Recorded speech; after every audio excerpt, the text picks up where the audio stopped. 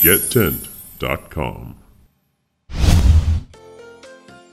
This is an overview of the components required to convert a 30 foot by 195 foot West Coast style frame into a hybrid West Coast style frame utilizing double tubing for use with a Master Series frame tent from Celina Tent. This tool may also be used to measure and compare existing frame components to ensure compatibility.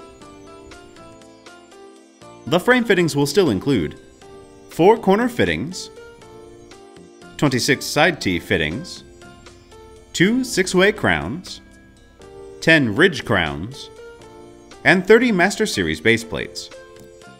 While adding 42 adjustable tube braces and 12 30-foot 4-point cable assemblies.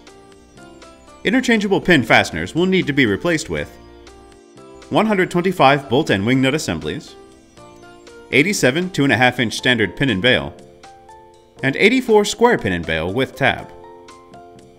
A minimum of 30 36 inch or 42 inch double head stakes, 30 24 inch stakes, 30 2 inch standard ratchet assemblies, and 30 1 inch Master Series ratchet assemblies are still required per tent.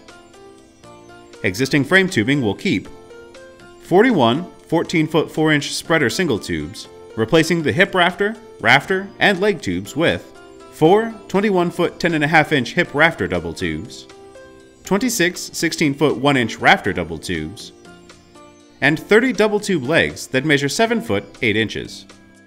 Frame fabric will still include one tent top and optional sidewalls.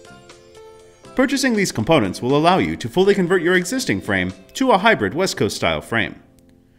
For more information or to order complete tents, components, or accessories, visit gettent.com.